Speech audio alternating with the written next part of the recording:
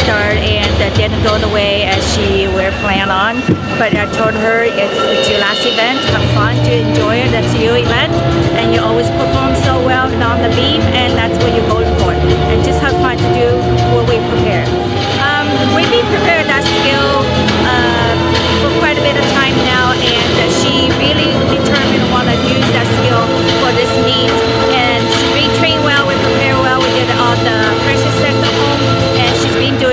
And after the whole uh, the meet wouldn't go that well, I said, "Are you confident to do this?" She said, "Yeah, that's what we're here for."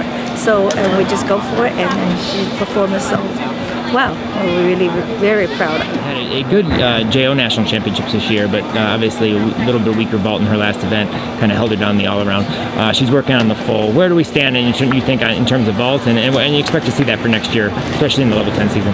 Um, well, this is kind of quite a long season for her. You know, it's been built since uh, in the December, like just straight going for the competition season.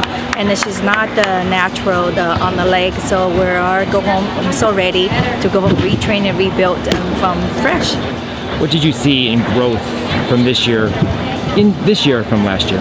Yeah, well, um, this year made a difference is herself wanting it, and you can tell the energy in the gym training almost day in day out, and it's not easy because the strength wise, but she's tried very hard to get very 100% effort in the gym throughout the whole how many months it's been like a seven month straight.